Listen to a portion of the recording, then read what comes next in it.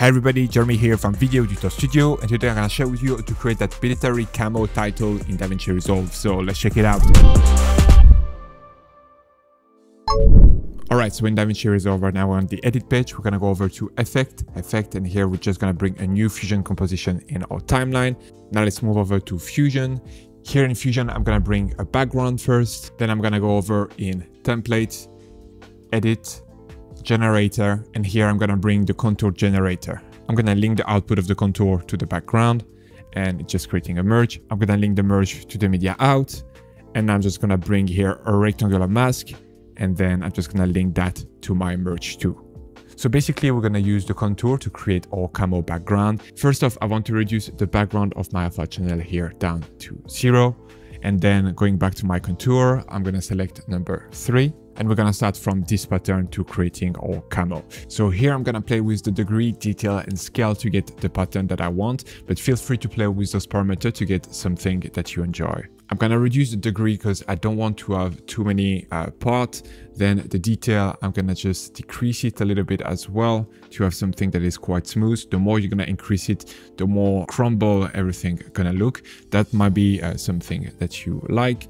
Right now, I'm just gonna reduce it so I have a smooth surface. And then the scale, if you increase it, you're gonna have more parts, but if you decrease it, you're gonna have less parts. So here, I'm just gonna go anywhere, uh, somewhere in between like that, I think. And then here, as you can see, it's static for now, but here you can just increase the movement rate and it will just start to move around. So here I've played around with those three value to get the look that I want. Now we can just scroll down here to shadow. I'm gonna increase the softness quite a bit like so. I think it's always nice to add some shadow to the design because it just helps to create depth into the image. Then I'm gonna go over to color here and I'm gonna change the color of the gradient. So I just went quickly online and I pull up this uh, camo chart pattern. So then you can just uh, copy the color code and paste it.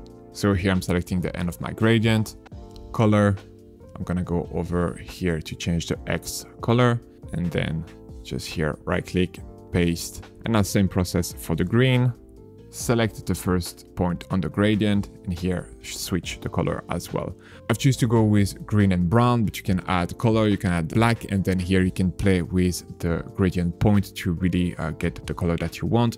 You can adjust uh, and add other points. So here, for example, we could add black if we want, and then you can just play around uh, with those color and just get the exact color tone that you want. So now I'm happy with that. We've created our pattern. Now we're just gonna add some text and adjust here the mask. So I'm gonna click the mask and here I'm gonna adjust the corner radius to have some rounded corner. Then I'm gonna bring a text node here in my working area. Just link the output of the text node to the merge to.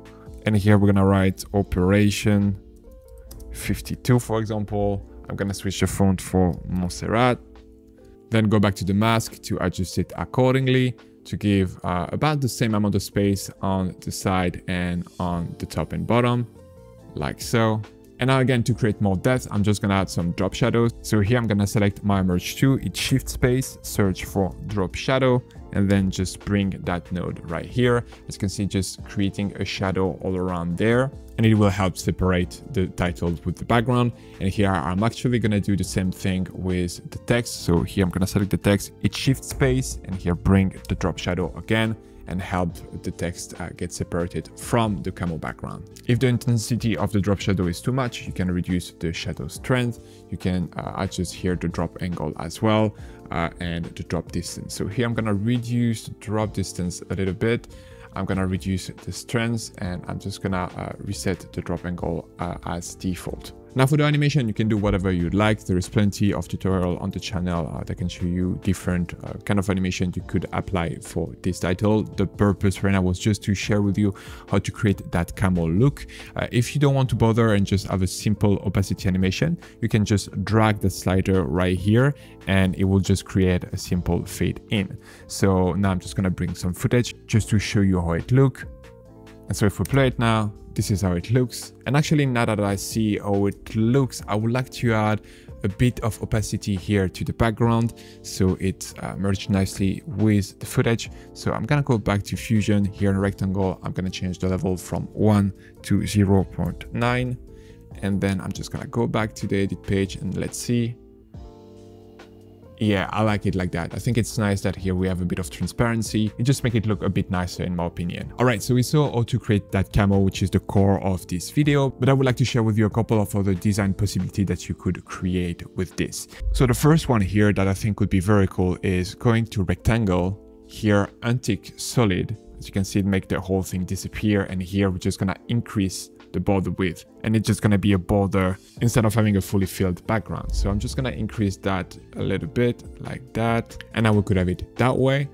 Now, what if I would like to not having this in white, but instead having it affected as camo as well? You could do that right here by just selecting the text one, then here clicking on the merge to bring a new merge node. And then you can just bring the output of the text one to the foreground here on the green arrow and then you can just select here your contour and drag it here to the background with your yellow arrow.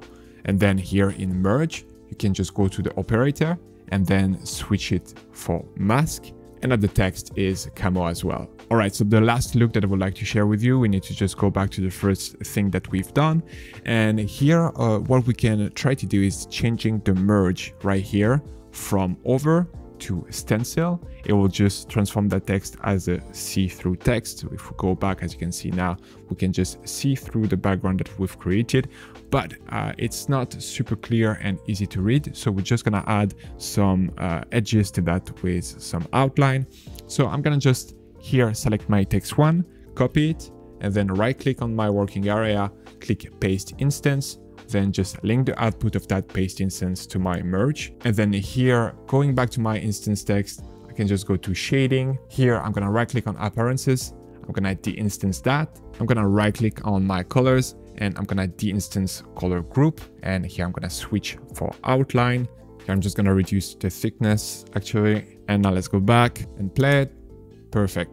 Alright, and that's pretty much it. I just wanted to share those principles with you and a few design ideas. Let me know if you enjoyed those kind of video where I cover uh, more than the actual topic and try to share with you a couple of design ideas because uh, I really enjoy making them. So let me know that in the comment. Don't forget to like and subscribe and see you in the next one. Bye.